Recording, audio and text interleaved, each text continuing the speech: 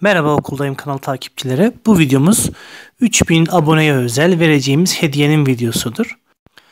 Hediyemizi 3000 aboneye özel ayarlamıştık ama sayenizde kanalımız giderek büyüyor, genişliyor. Şu anda 4000 aboneyi de geçmiş durumda. Yakında da 4000 aboneye özel hediyemizi vermeye çalışacağız. Yeni gelmişken de kanalımıza vermiş olduğunuz destek için hepinize ayrı ayrı teşekkür ediyorum.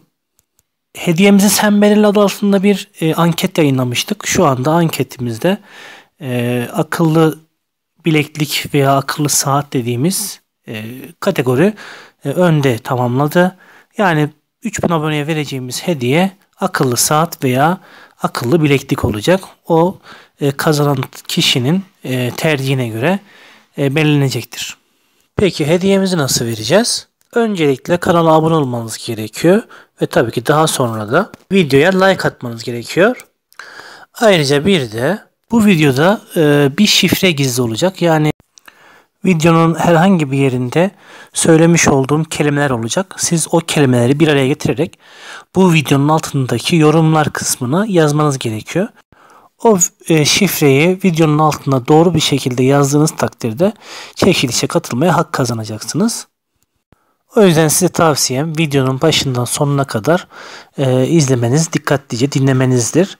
E, dinledikten sonra da şifreyi yorumlar kısmına dikkatli bir şekilde yazmanız olacaktır. Çekilişimizin süresi bir hafta olacaktır. Yani 22 Ekim 2022 Pazar günü saat öğlen 12'ye kadar yorum yapanlar bu hakkı kazanmış olacaklardır. Herkese başarılar ve iyi şanslar diliyorum. Umarım güzel ve eğlenceli bir çekiliş olur. Hazırsanız videomuza başlayalım.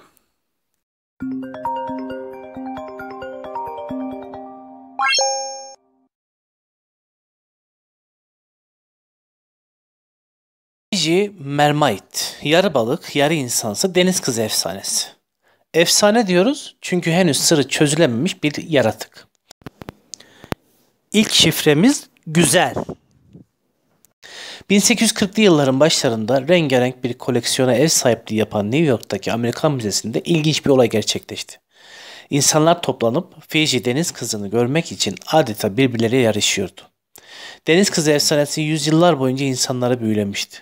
Yakın tarihimizde Christoph Kolomb daha yeni dünyayı keşfederken Hispaniola yakınlarında yüzen deniz kızları gördüğünü iddia etmişti.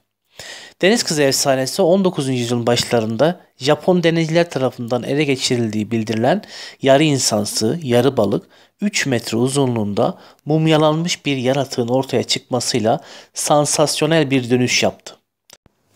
İkinci şifremiz olan. Bu ilginç yaratık Hollandalı tüccarlar tarafından 6000 dolara satın alındı ve 1842 yılında Barnum Müzesi satın alınana kadar sürekli el değiştirdi. Müzeye Fiji deniz kızı getirildikten sonra müzeye olan hayranlık biraz daha arttı. Müze küçük eğlenleri dağıtarak deniz kızına olan ilgiyi sürekli canlı tutuyordu. Ancak bu garip yaratık müzedeki sergiden sonra bir anda ortadan kayboldu. Üçüncü ve son şifremiz paylaşmaktır. Bugün dünyanın en ilginç kriptozoolojik eseri keşfedilmeyi bekliyor. Henüz kimse nerede olduğunu bilmiyor.